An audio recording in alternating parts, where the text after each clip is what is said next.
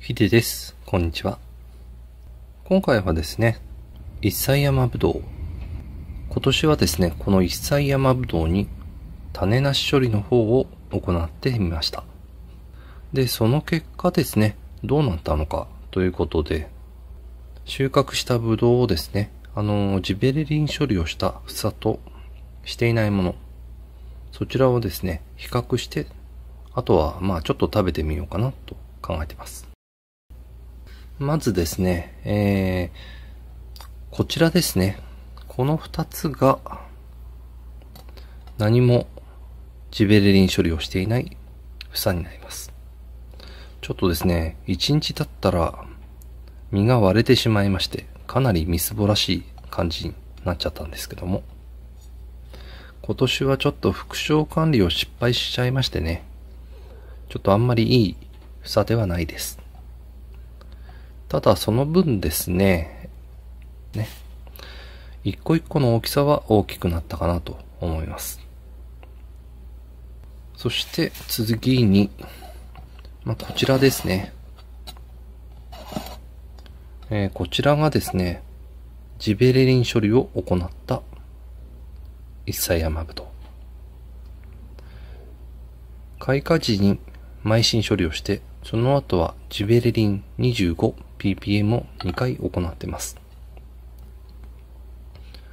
こうして比較してみるとわかるかなと思いますけども、なんというか、ジベレリン処理をした房っていうのはですね、通常の一歳山ぶどうに比べて、ブルームが少なくなりますね。花粉が。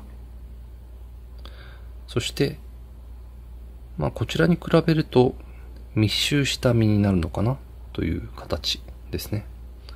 とにかく色が全然違います。ちなみにこちらがですね、1番花の実で、こちらは2番花なんですが、色付きはですね、こちらの2番花にジベレリン処理をした房の方が早かったですね。あと、ジベレリンをすると、実が小さくなってしまうことが山ぶどうはあるらしいんですが、今年の処理ではそれは感じられませんね。ほぼほぼ大きさは変わらない。そんな印象です。ちょっと一個取ってみますね。はい。こちらが、見えるかな？ちっちゃすぎて、あれですね。見づらいかもしれませんが、ジベレリン処理をした一歳山ぶどう。ちょっとね、割って種が入ってるかどうか確認してみたいと思います。まずこちらですね。こちらはジベレリン処理もしていない通常の一歳山ぶどうですね。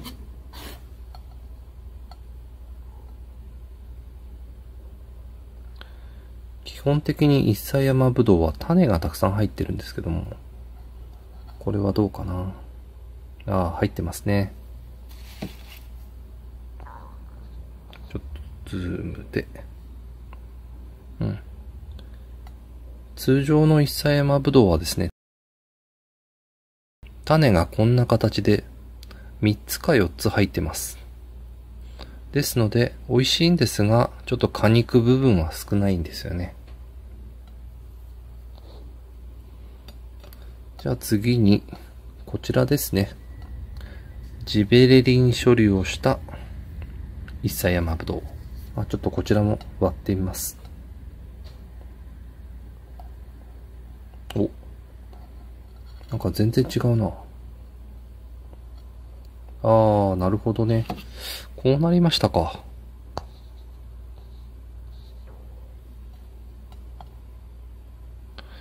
ちょっと奥がですね、ジベレリン処理をしていない一歳山ぶどうなんですが、このジベレリン処理をした方はですね、種が1個になってますね。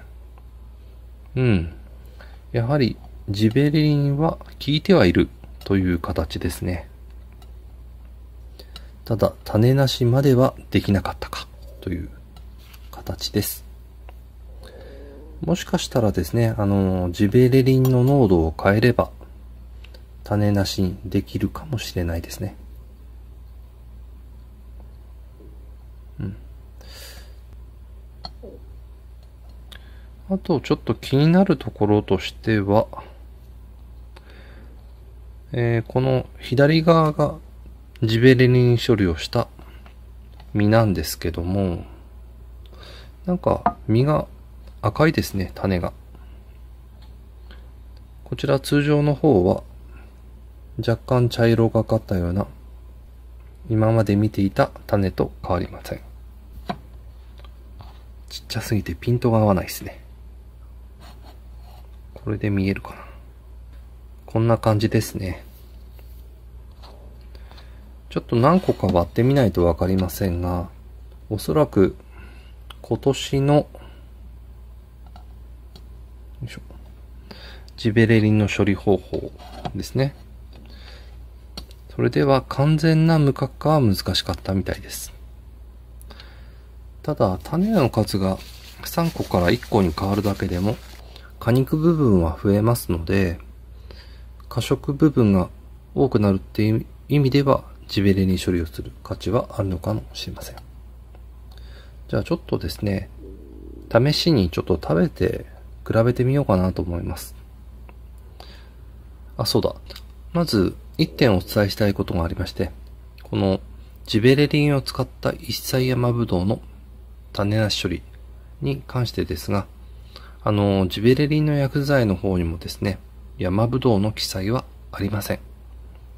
ですので、えー、この実験はですね、私、自己責任で行ってます。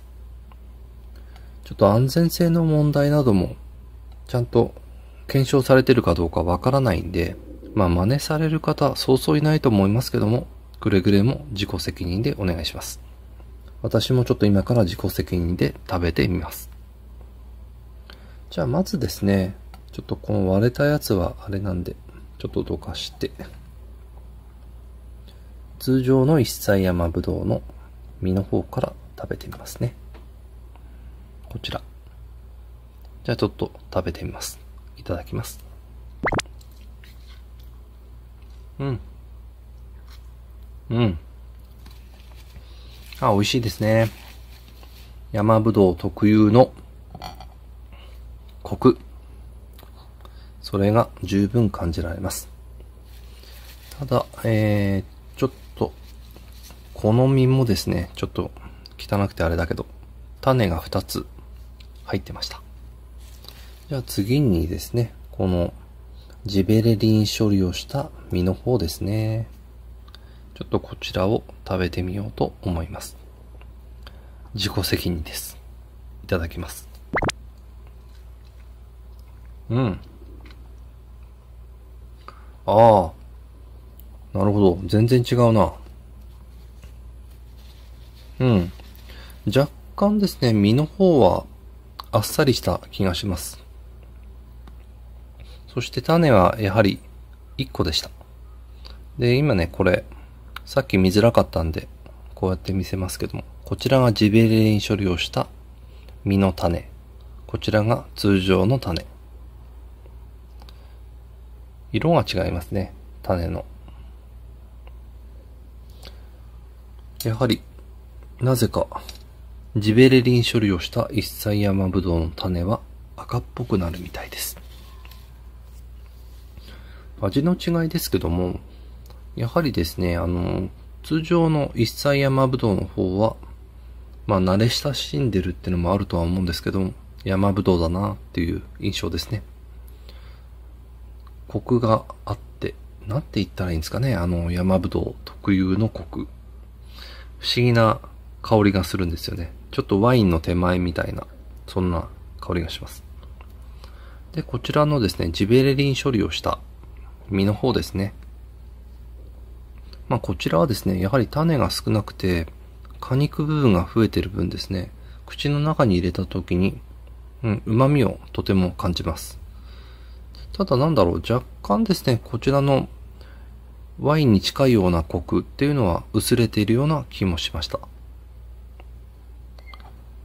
ただまあ相対的に見て、えー、生食で食べるって考えた時のポテンシャルは、ジベレリン処理をした方の実の方がありかなっていう気はしてます。やはりちょっとあの果肉部分が増えて種が少ないっていうのがいいですね。ちょっとこのちっちゃいのも食べてみますね。ああらら。あ、種なしだ。あ、ちょっと何個か食べてみますね。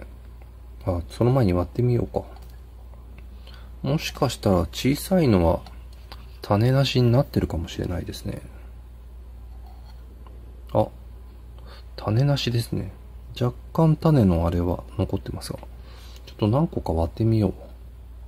おそらくですね、この大きい実には種が入ってると思うんですよ。あ、やっぱそうですね。種が、これは違うな。種が1個入ってます。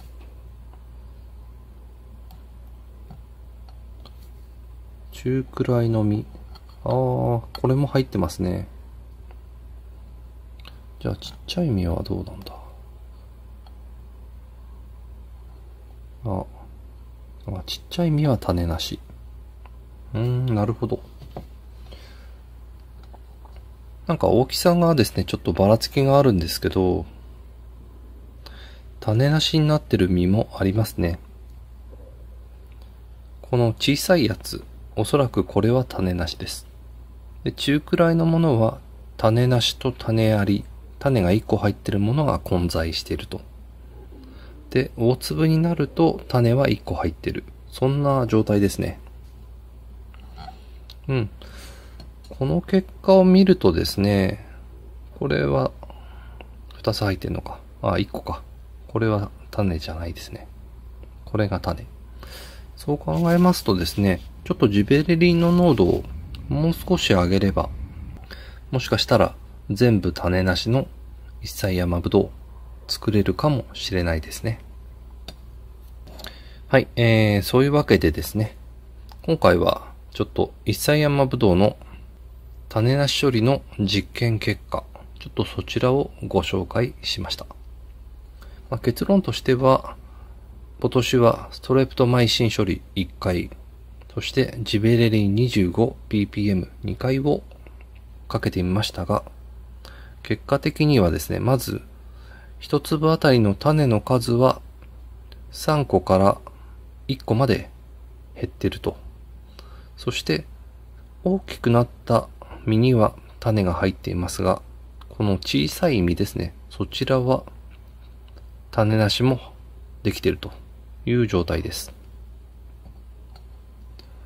まあ、ですので、えー、ジベレリン濃度を変えればですね、一切山ぶどうも種なしにはできるかもしれないですね。唯一気になったのはちょっとやっぱり種なしになった実は小さいのかなというところです。まあ、これが今年の現象なのか、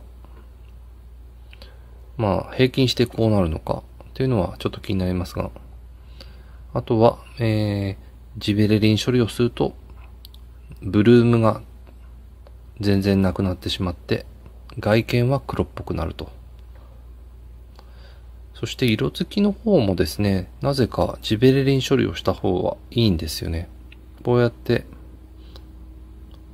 房の中でですね、一気に色が入ってくるんですよね。対してこちらの通常の方は、こんな感じで、飛び石で色が入ってくるっていうのが一切山ぶどうの特徴です。うーん、ちょっとですね、今回はすべて種なしにはできませんでしたが、まあ山ぶどうの方もジベレリンの処理次第では種なしにできる可能性はあるのかなということで、全部種なしで実の大きさが揃ったら、それはそれで美味しいぶどうなんじゃないかなと思います。えー、今回はですね、一切山ぶどうの種なし処理実験、その結果どうなったかというお話でした。結果としてはですね、種なしの実もできましたが、種の入ってる実も混在していたと。ただ、種の数ですね。もともと一歳山ぶどうは種が一つの実に対して三つぐらい入っていますが、ジベレリン処理をした方は種が最大でも一個ぐらいまで減っていたという形です。えー、ちょっとね、来年以降試すかどうかはまだわかりませんが、まあ今回はですね、こういう結果になったよというお話でした。